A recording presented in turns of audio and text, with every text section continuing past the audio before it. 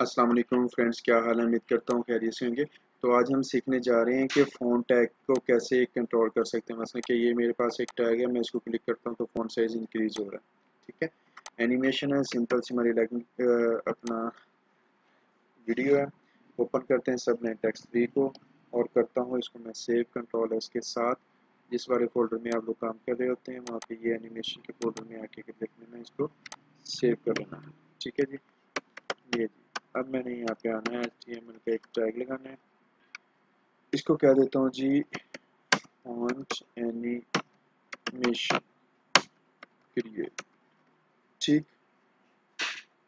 इधर आए ओपन करते हैं, कहाँ पे हमारे पास फॉन्ट एनिमेशन ये ये हमारे पास है जो फॉन्ट एनिमेशन बॉडी के अंदर जाते हैं स्टाइल लगाते हैं, और ये स्टाइल लगाते हैं हम इनर सी एस एस के लिए, वरना एक्सटर्नल सी एस एस और इंटरनल भी यूज़ कर सकते हैं। ये इनर के लिए हम यूज़ करेंगे बेस्ट रहेगा हमारे पास बैकग्राउंड कलर कर देते हैं। सबसे पहले टाइम जैक की बनना लीनियर ग्रेडियंट के अंदर कलर करता हूँ और मैं कहता हूँ ग्रीन और येलो कलर ठीक है जी?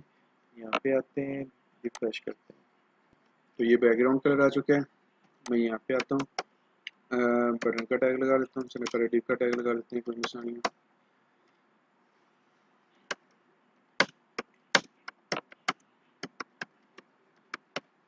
ठीक है जी।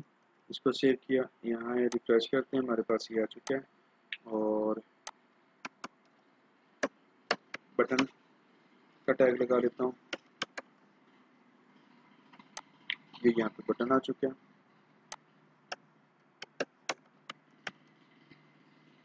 मैं कहता हूँ ये सेंटर में ठीक है। ये सेंटर में आ चुका है। और मेरे पास अब ये चीज़ मौजूद है। और यहाँ पे आते हैं सबसे पहले तो स्क्रिप्ट करते हैं और स्क्रिप्ट करके इसको करते हैं टेस्ट डॉट जी एस ये गूगल से कर लेंगे डाउनलोड ठीक है? इजली मिल जाएगी। जावा स्क्रिप्ट का फ़ाइल लिखना मिल जाएगी डाउनलोड हो जाएगी। तो अब करना है इस वाले स्क्रिप्ट के अंदर काम। मैं कहता हूँ डॉलर का सेंड लगाते हैं डॉक्यूमेंट लगाते हैं लेकिन इसकी परमिशन होनी चाहिए कि जब ये बिल्कुल रेडी हो, तब एक छोटा सा इसके ऊपर मैं कहता हूँ फ़ंक्शन क्रिएट होना चाहिए, ठीक है? और फ़ंक्शन क्रिएट तो होना चाहिए, लेकिन किसके ऊपर होना चाहिए? मैं कहता हूँ जी बटन के ऊपर फ़ंक्शन क्रिएट होना चाहिए। लेकिन कब? फिर क्या होना चाहिए? जैसे इस पर फिर क्लिक हो, फिर एक फ़ंक्शन क्रिएट होना चाहिए।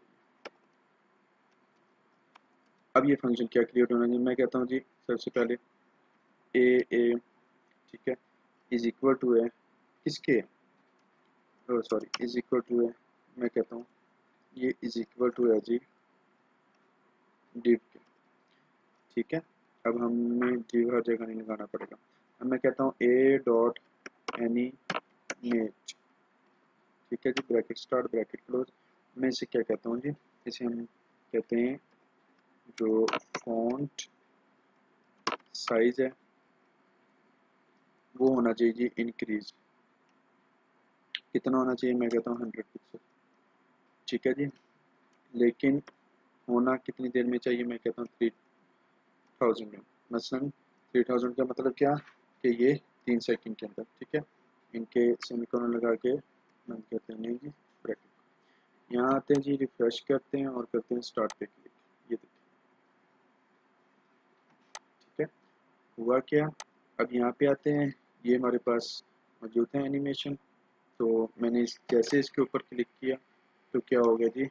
ये यहाँ से बड़ा होना स्टार्ट हो चुका तो आज का लेक्चर यहीं तक था। उम्मीद करता हूँ आपको लेक्चर समझ आया होगा, पसंद आया होगा। तो प्लीज़ चैनल को लाइक करो सब्सक्राइब करो शेयर करो। कल मिलेंगे इन एक नए लेक्चर के साथ। आपके लिए इजाज़त दें अल्लाह हाफिज़।